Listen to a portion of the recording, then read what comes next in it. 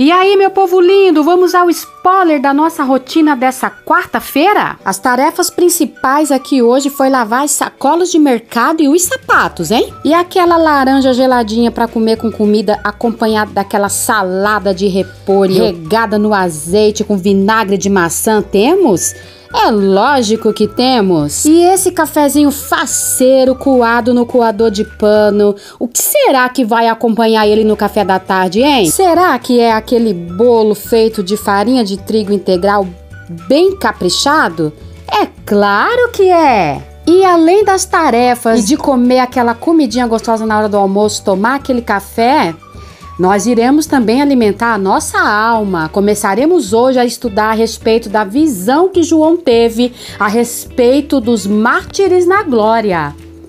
E não se esqueçam, diariamente a partir das 21 horas teremos vlog novo no canal Andréia e André na Real. Bora pro vlog!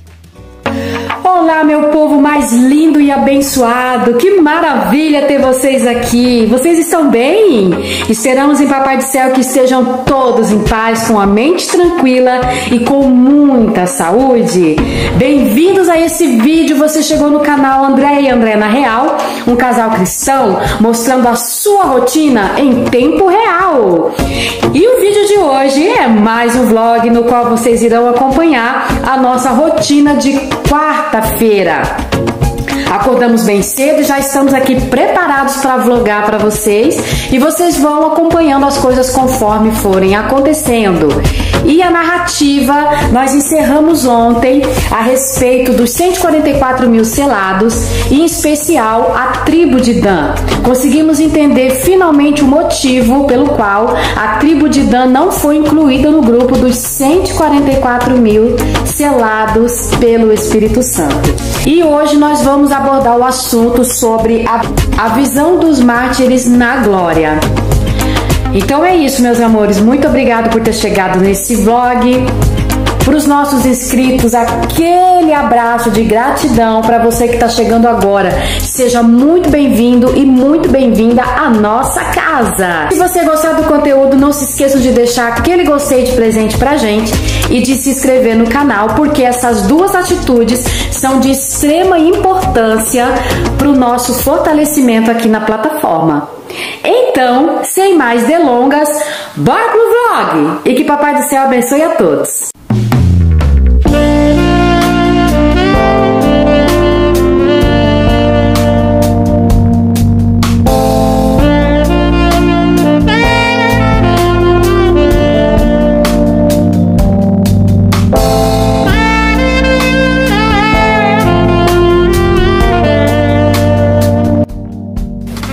Começando a narrativa a respeito da visão dos mártires na glória.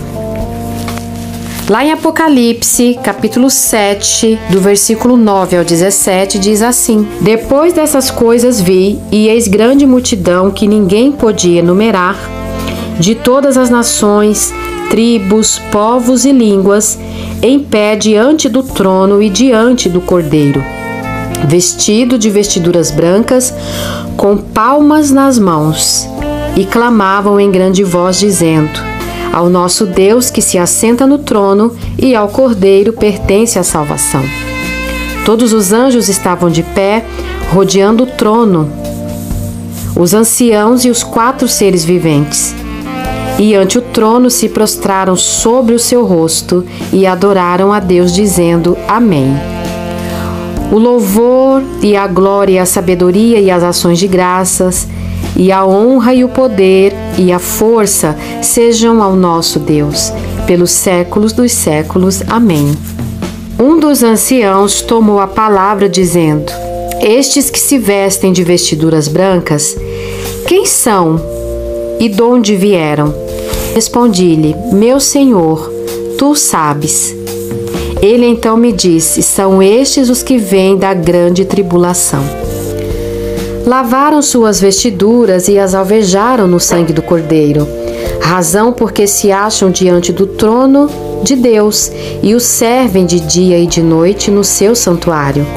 E aquele que se assenta no trono estenderá sobre ele o seu tabernáculo. Jamais terão fome, nunca mais terão sede Não cairá sobre eles o sol, nem ardor algum, pois o cordeiro que se encontra no meio do trono os apacentará e os guiará para as fontes da água da vida. E Deus lhes enxugará dos olhos toda lágrima. Os fatos do sexto selo continuam a se desenvolver.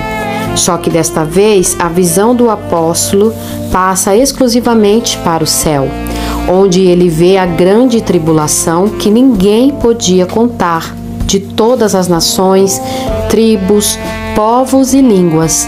Diante disso, podemos resumir a abertura do sexto selo em três visões. Primeira, catástrofes cósmicas, as quais enchem os homens de perplexidade, medo e terror. O sol fica negro como saco de crina, a lua como sangue e a terra é abalada por um enorme terremoto. Segunda, em meio a esse juízo é incluída uma pausa por causa dos 144 mil de Israel que ainda devem ser selados. Terceira, a grande multidão vestida de branco e com palmas nas mãos. A primeira visão se refere ao acontecimento no nosso sistema solar, tendo a Terra como palco das maiores catástrofes envolvendo a vida do planeta. A segunda, ainda na Terra, refere-se à selagem dos 144 mil dos filhos de Israel, que se converterão ao Senhor Jesus durante a grande tribulação. Já a terceira visão passa para o céu, onde encontramos a grande multidão que ninguém podia contar. Mesmo assim, o conteúdo dessa terceira visão faz parte das duas primeiras, pois o grande e terrível dia do Senhor não pode ser compreendido como as 24 horas que compõem um dia comum. Os juízos de todos os selos fazem parte deste grande e terrível dia do Senhor. Mas cada um dos seus acontecimentos pode representar um período de meses e até anos. Esses mártires que vieram da grande tribulação não têm nada a ver com a igreja arrebatada.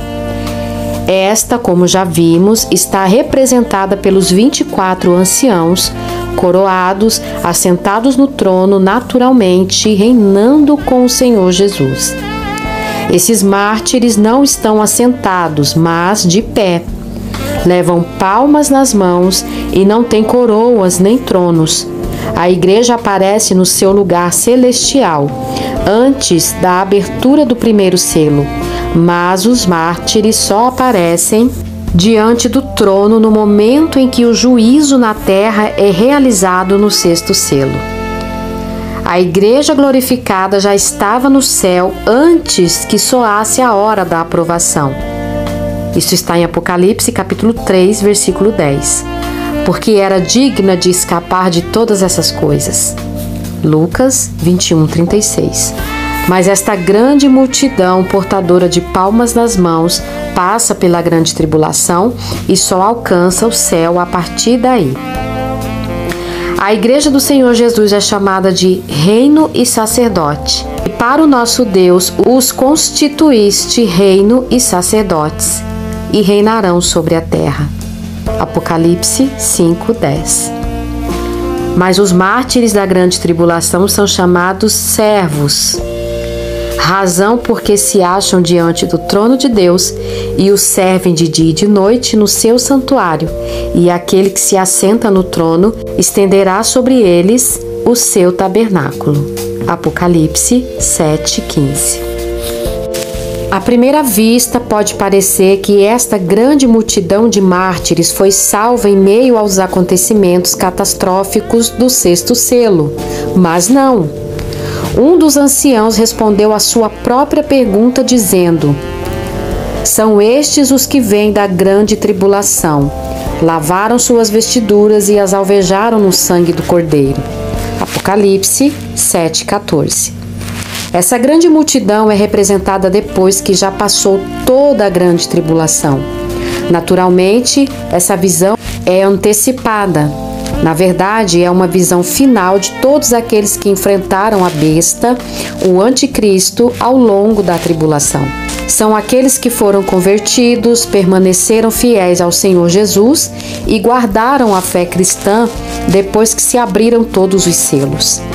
Tocaram-se todas as trombetas e se derramaram todas as taças da cólera, e por isso tiveram de pagar com a própria vida. É claro que o martírio dessa grande tribulação é algo inimaginável, porque inimaginável também será o período da grande tribulação. Daniel viu este dia e disse: Nesse tempo se levantará Miguel, o grande príncipe e defensor dos filhos do teu povo, e haverá tempo de angústia, qual nunca houve, desde que houve nação até aquele tempo.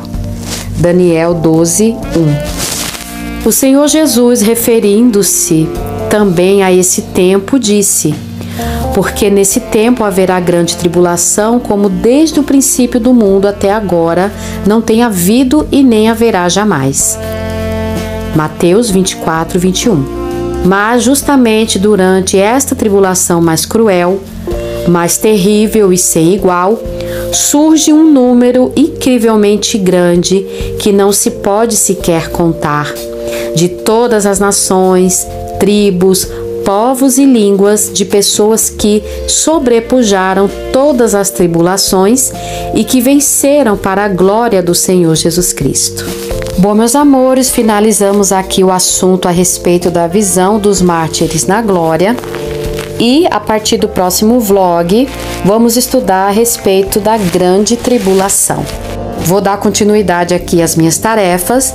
Muito obrigada por ainda estarem aqui conosco e não se esqueçam de deixar aquele gostei e de se inscrever no canal. Estou aqui preparando um bolo integral para o café da tarde. Seen a lot of change, been through a lot of pain. Some things are not the same as they were a year ago. But all will be okay, I move on each and every day. The past is where it stays Way back a year ago I've changed for the better this time I thought I would never be fine. I strive just to say I'm alright. And for the first time in a long time I'm alright. I've seen a lot of change been through a lot of pain. Some things are not the same As they were a year ago But all will be okay. I move on each and every day The past is where it stays. Way back a year ago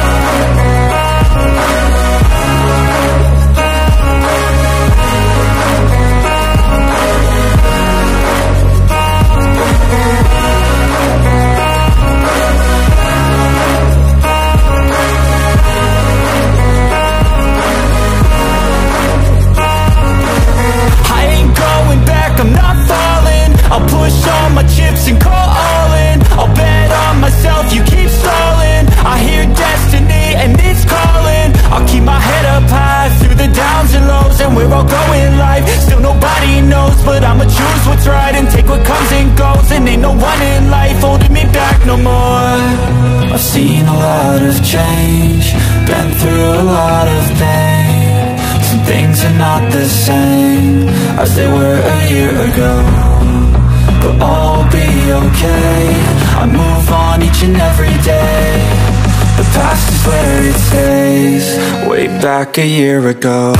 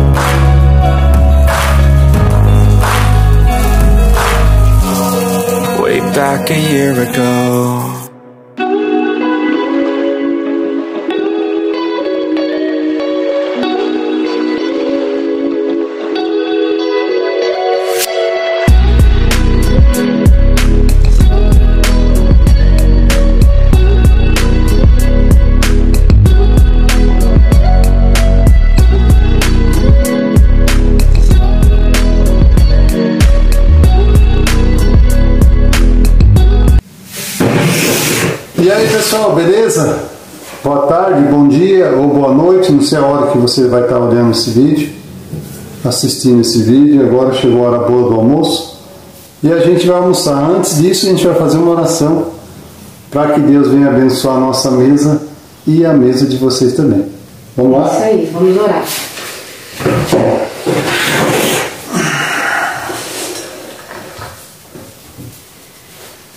Senhor nosso Deus e nosso Pai, em nome do Senhor Jesus, nós te agradecemos por mais um dia e também, meu Pai, por esse alimento, que a cada dia Senhor vem multiplicar na nossa mesa e também na mesa dessa pessoa que estiver assistindo esse vídeo.